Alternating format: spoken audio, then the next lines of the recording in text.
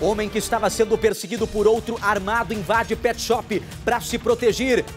Para se proteger em São José do Rio Preto, interior de São Paulo. Marcelo Bittencourt, bom dia.